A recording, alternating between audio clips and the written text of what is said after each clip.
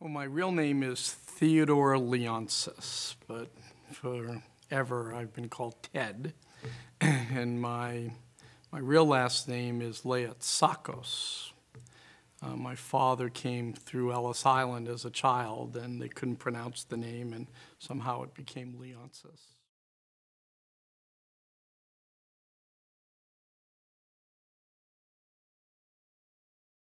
And back then, this was 1976, your vision of a computer was HAL from the movie 2001 A Space Odyssey.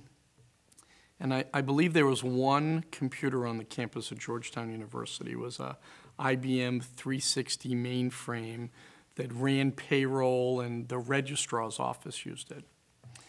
And we then recruited a linguistics major and we worked on developing measures in which we could do comparative algorithmic analysis of work that Hemingway had done in the 30s, the late 30s, the 40s, the 50s before he took his own life and used Old Man in the Sea as a control. And so I literally went to this IBM 360 mainframe computer and had to transcribe and type in the first 5,000 words or so from all these different pieces of work. And then a linguistics major helped me to come up with these measures, words per sentences, sentences per paragraph, um, pronoun references, and, and we programmed it. And, and we asked the computer, when was this book written?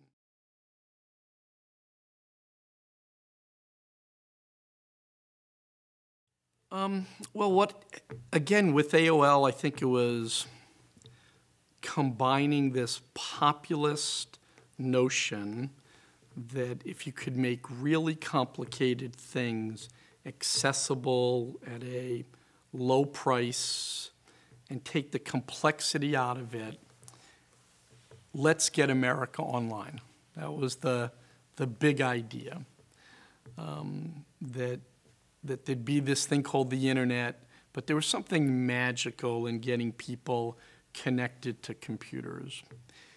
And back to that vision of um, is it a computer or a television? Um, well, entertainment would be delivered online, and utility like mail and messaging would be delivered online. And frankly, anything that you could do offline, you should be able to do faster, better, more efficiently, maybe even with more enjoyment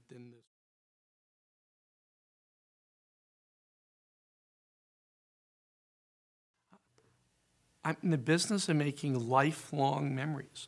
What other business can you be in that you make a grown man cry 40 years after the fact?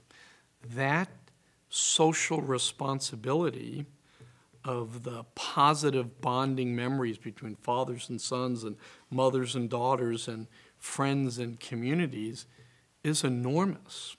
And so I, I view what I do with stewarding and owning the teams as being like being mayor of your city, or I mean, it, it has a much richer, higher calling than just wins and losses or ratings points on televisions or the number of tickets that you sell.